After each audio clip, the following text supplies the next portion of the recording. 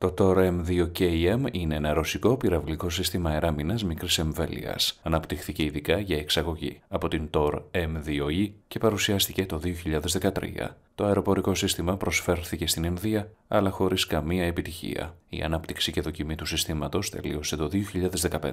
Εν τέλει, το TOR M2KM παραγγέλθηκε από την Αρμενία. Τουλάχιστον δύο τέλα οχήματα παραδοθήκαν στη χώρα το 2019. Ωστόσο, κατά τη διάρκεια του 2020, ένα τουλάχιστον από τα δύο καταστράφηκε από ντρόουν των δυνάμεων του Αζερβαϊτζάν. Το TOR M2KM χρησιμοποιεί 9M331D πυράβλους. Οι πύραυλοι αυτοί έχουν μέγιστη εμβέλεια 15 χιλιόμετρων και μπορούν να φτάσουν το υψόμετρο των 10 χιλιόμετρων. Αναφέρεται πως ο πύραυλος έχει περισσότερο από 90% πιθανότητα να καταστρέψει τον στόχο, αν και αυτό το ποσό εξαρτάται σε μεγάλο βαθμό από τον τύπο του στόχου. Στο σύνολο, 8 πύραυλοι μπορούν να κουβαληθούν στη μονάδα. Το TOR M2KM Teller μπορεί εύκολα να ενταχθεί στο υπάρχον σύστημα αεροπορικής άμυνας με τη βοήθεια του οχήματος κέντρο διοίκησης Ranchir MK.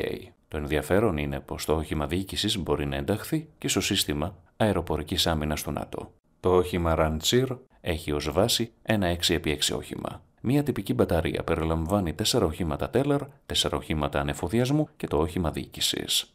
Ευχαριστούμε που μας παρακολουθήσατε. Αν σας άρεσε αυτό το βίντεο, μπορείτε να κάνετε like και εγγραφή στο κανάλι μας για να λαμβάνετε πρώτοι όλες τις νεότερες εξελίξεις. Μην ξεχνάτε να μας κάνετε σχόλια με την άποψή σας, καθώς η γνώμη σας είναι πολύ σημαντική για μας.